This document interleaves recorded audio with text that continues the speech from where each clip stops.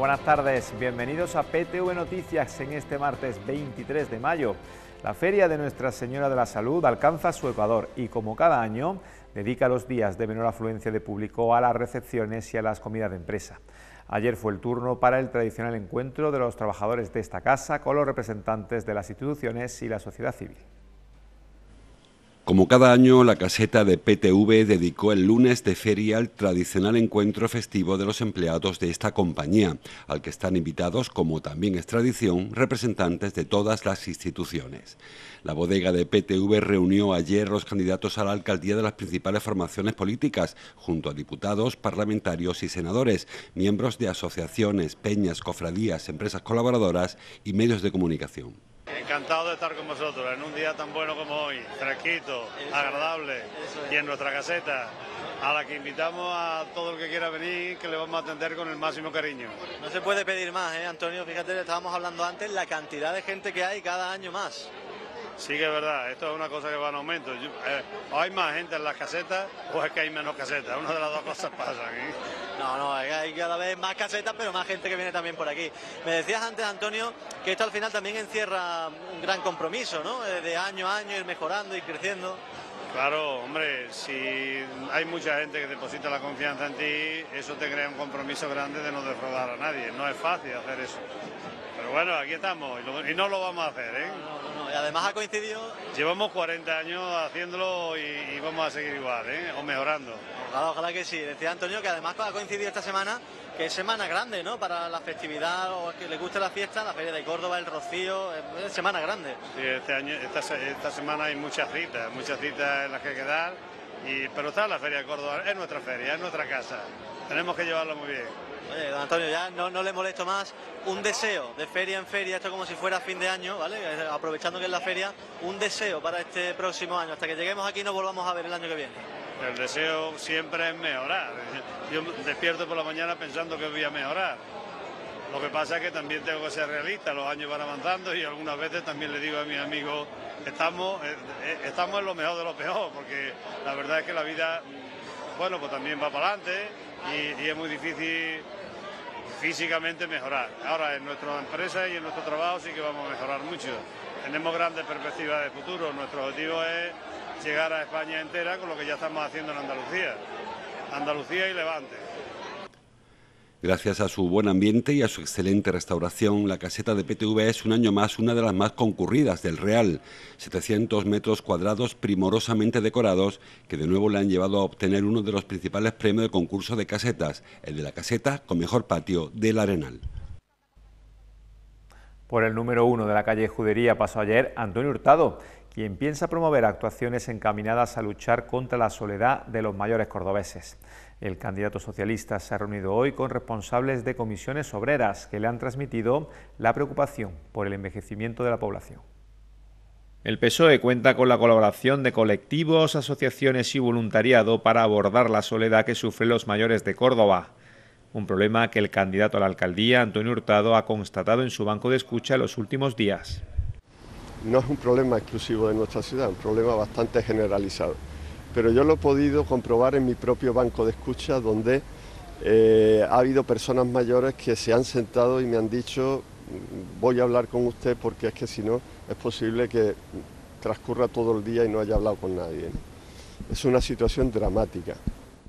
Su programa electoral recoge una atención presencial y personalizada a los mayores en unos servicios públicos municipales con más personal para contrarrestar la brecha digital un plan de actividades que respondan a un envejecimiento activo, la construcción de apartamentos tutelados como los de Samaná Arro en todos los distritos de la ciudad, o un plan de accesibilidad para transitar por las aceras y acceder a los edificios públicos y a las propias viviendas. Son medidas que Hurtado ha expuesto en la sede de comisiones obreras, en una reunión similar a la que miembros del sindicato mantuvieron días atrás con el candidato de Hacemos Córdoba, Juan Hidalgo.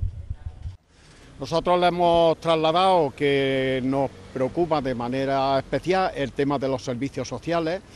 Eh, como ustedes saben, el envejecimiento está creciendo y va a seguir creciendo de manera progresiva eh, en, Córdoba y su provincia, especialmente en toda España, pero especialmente eh, lo que nos toca a nosotros y lógicamente tenemos que tener unos servicios sociales que, que den respuesta a las necesidades y a los problemas que tienen las personas mayores.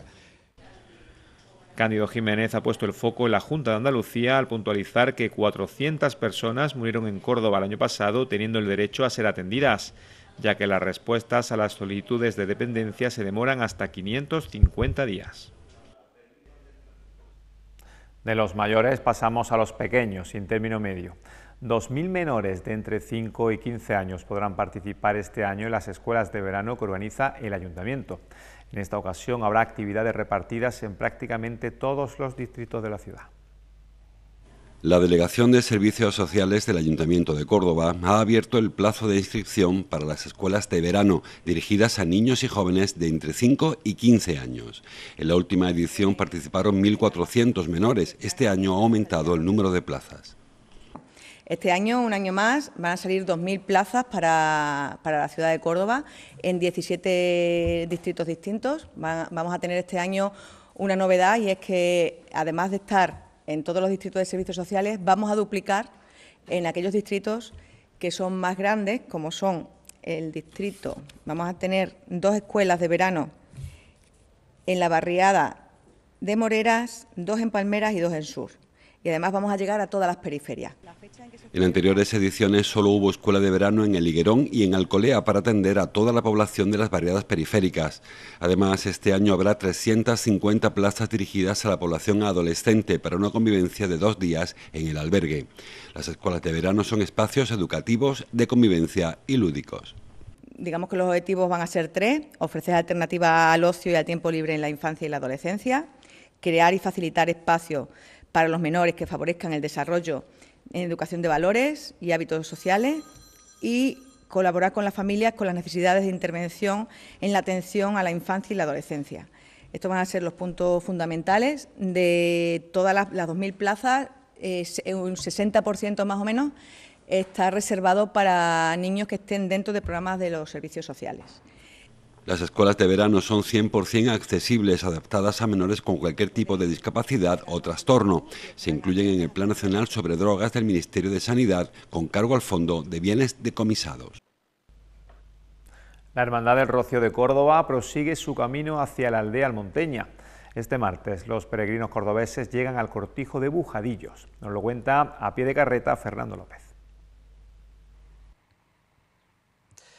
Atravesando Sevilla, así está la Hermandad del Rocío de Córdoba que eh, partía del eh, eh, Cortijo de Neblines y llegará en esta tarde-noche a la finca de Bujadillo. Desde allí mañana será la partida en un día ya especialmente bonito porque será el paso de la barcaza de, Coria, donde también harán noche. El jueves será ya el día de cruzar el quema y llegar a Villa Manrique antes del viernes a en la aldea del Rocío. Poquito a poco la Hermandad de Córdoba que se va acercando a esa aldea del Rocío, pero mientras tanto en el día de hoy atravesando Sevilla por estos maravillosos campos que nos acompañan durante todo el camino. Entre el 9 y el 11 de junio, Fuente Palmera va a celebrar la segunda edición de su Feria de la Tapa. Diez establecimientos de la colonia ofrecerán platos típicos y productos principalmente de la cocina local. La colonia de Fuente Palmera acogerá del 9 al 11 de junio la segunda edición de su Feria Gastronómica, un evento apoyado desde la Diputación de Córdoba en su estrategia de unir turismo y gastronomía y desde Fuente Palmera pues lo están haciendo y lo están relanzando. Desde la Asociación de Empresarios, conjunto con el Ayuntamiento, eh, se, está, se quiere también potenciar y se quiere dar a conocer toda la gastronomía para que no solamente la gente de Córdoba se acerque y, venga a degustarla, sino que también pues toda la gente que viene del exterior, que todos los visitantes de Andalucía, del resto de, España que nos visitan, que, bien, que vengan ese fin de semana del 9 y 10 de junio, pues se acerquen aquí a Fuente Palmera y que puedan degustar y que puedan que puedan mm, irse con ese buen sabor de boca. En la organización de esta feria colabora la Asociación Empresarial de Fuente Palmera. Su presidente, Manuel Jesús Adame, ha explicado que participarán 10 puestos con gastronomía local y productos autóctonos de la zona, aunque también podrán degustarse otros platos como marisco, pulpo, torrezno de Soria o la carrillada de la zona. Lo que intentamos es, bueno, eh, eh, ofrecer a, nuestros visitantes y, a nuestros vecinos pues una variedad gastronómica importante como ya ocurrió en la anterior edición. Creo que la colonia de Fuente Palmera tiene eh, bueno, establecimientos, bares, restaurantes donde eh, se puede gustar una, una, alta cocina y lo que esperamos que ese fin de semana haya actividad, haya diversión y sobre todo que nos conozcan también nuestro patrimonio, nuestra cultura. Como complemento a la oferta gastronómica hay previstas actuaciones musicales para toda la familia y se han dispuesto espacios para poder disfrutar de las tapas y raciones de pie o sentados. Esta cita se une a otros dos grandes eventos que se celebran en Fuente Palmera, Expofare, la Feria del Regadío, y Fuente Palmera de Boda, dedicada al textil.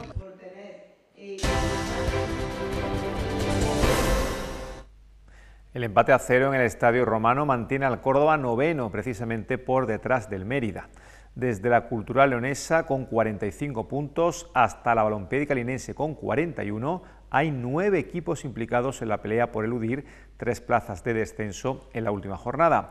Con 43, justo por encima de la zona roja, está el Badajoz, que ha completado 10 autocares y estará arropado por más de 2.000 aficionados en el Arcángel el sábado a las 7 y media. Me da a mí que esta afición está...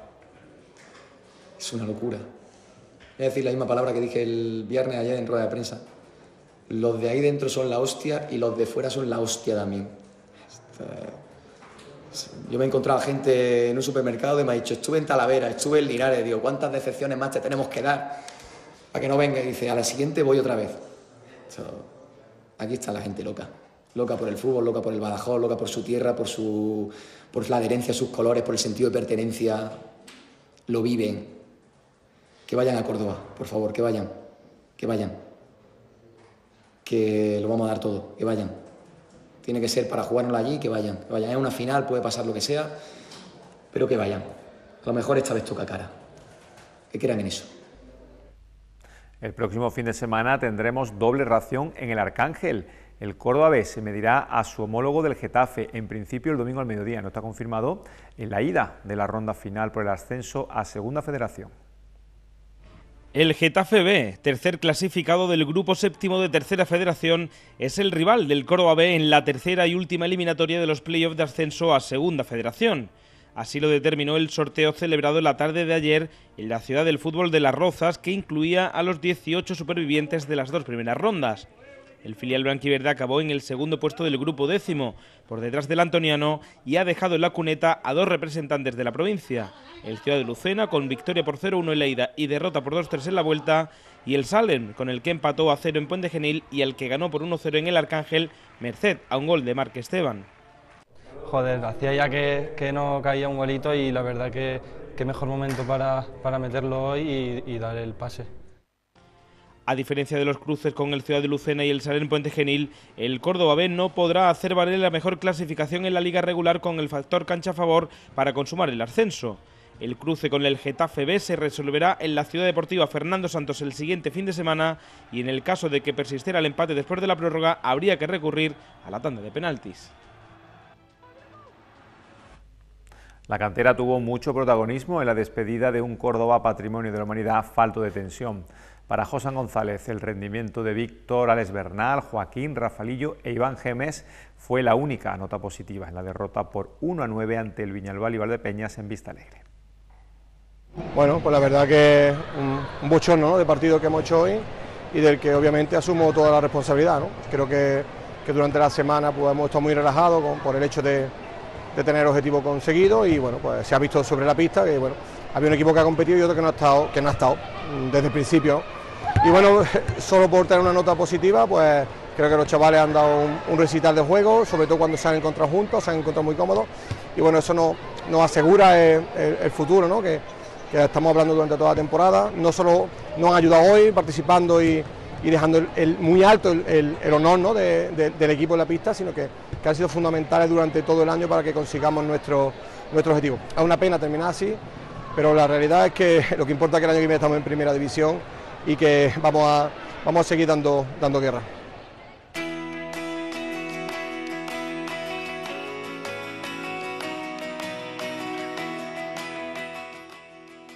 Según la predicción, para mañana miércoles en la provincia de Córdoba habrá cielos nubosos o cubiertos con chubascos que pueden ir ocasionalmente acompañados de tormentas y granizo y serán más probables e intensos en las sierras y durante la tarde.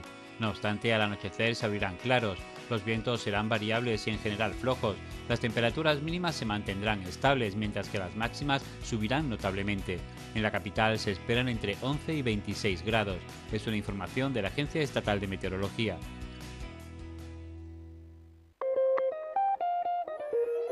Menudo problemón tenemos con el agua. ¿Y qué podemos hacer para solucionarlo? Mira, si cierras el grifo mientras te lavas los dientes, puedes ahorrar mucha agua. Y si lavamos los platos juntos, podemos hacerlo de manera mucho más eficiente. El agua de mañana está en tus manos. Emaxa. A las 3, en directo desde el Arenal, podrán ver el magazín de feria, presentado por Amparo Muñoz. Y a las 9, un nuevo programa especial sobre el camino al Rocío de la Hermandad de Córdoba, conducido por Fernando López. Nos despedimos desde el recinto ferial. El broche del informativo de hoy lo pone la actuación del grupo cordobés Sentimientos en nuestra caseta La Bodega de PTV. Hasta mañana.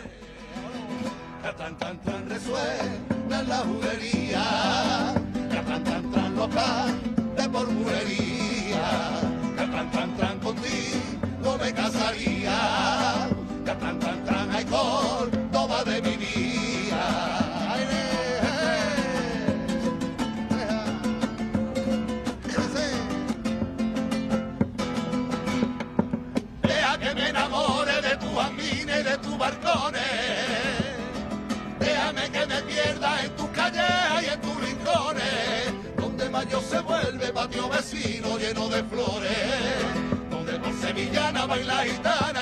amor.